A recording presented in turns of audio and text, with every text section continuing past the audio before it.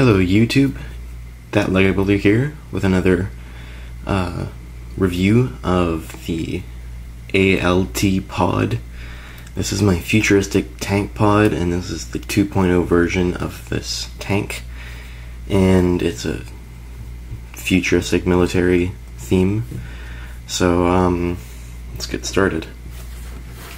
So in the 1.0 version, this was supposed to be more of an apocalypse theme, apocalypse style, where it was thrown together by the survivors. But this is uh, meant to be more of a real military vehicle that was made by the government for the purpose of defending whichever country it belongs to.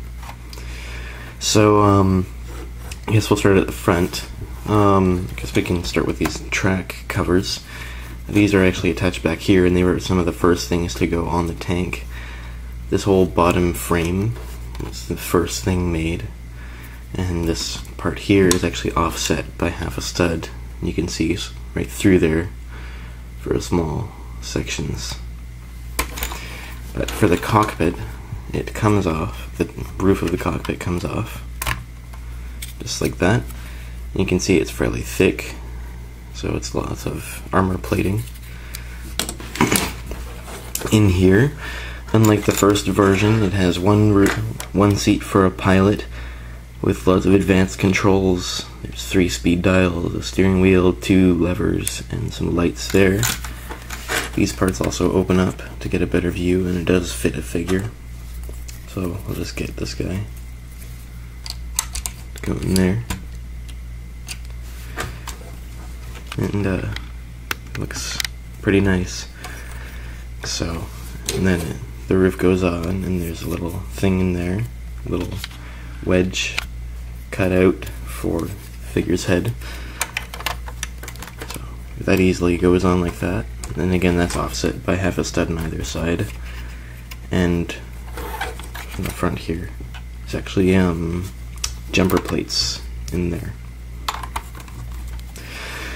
So now into the back. Uh, we'll start with the interior of the back. So this top part comes right off. It's held on by four studs and jumper plates. And this wheel back here. It's the same style wheel I had before. And the trouble, I had to get it even this time because it would roll better. It rolls better when it's all even. So, as you can see, I had to put a little peg in there to hold it in place because it's actually a double wide hole. So that was a bit of a challenge. In here we have a little engineering station or a scout monitoring station. And again it fits one figure. So we'll put another figure in there. And his head sticks up a little bit, but there's another groove in there for the minifigure's head to stick up. So um, now onto this, the other side. So you can see this thing here, and that is the light brick again. And it slides out on a piston, and when the top part is off, it slides over like that. And it flips both ways, so it can go to the back. And at the side, even inside, but I don't know why you would want to do that. But normally it just sits right there. It's held in place by just the one piston. This angled side, it's got uh, 2 by 2 slopes up here and 3 by 4 slopes under there. And this is all snotted, snot technique. And a little gas thing, gas injection.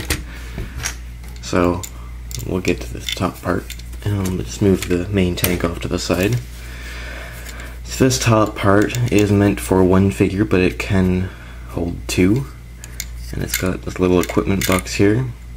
It's got a backpack, a Brick Arms minigun, and this canister thing here. I don't know what it would be used for. Maybe extra fuel, possibly. I don't know. And there's this back part here with the big light again from the carried over from the 1.0 version, only this time it's orange on this uh, smooth thing. So, um, yeah. Um, I have a lot of fun designing these things and seeing what I can do and what I want to do and trying to putting that into this tangible object. This one is actually more solid than the first one. Excuse me. Um, it is more solid. Uh, it doesn't. It rolls a bit better, but um, this little part here is restricting the front treads a bit. Um, but yeah, this is I actually got a little background for this, so uh, I guess we'll take a final look at it in the background and uh, we'll end it. So you can see it's got the nice lines here, the road lines, and in front of a small building I just built yesterday. So um, yeah, that's it for the ALT Pod uh, review 2.0. Um, thank you for watching. Happy building.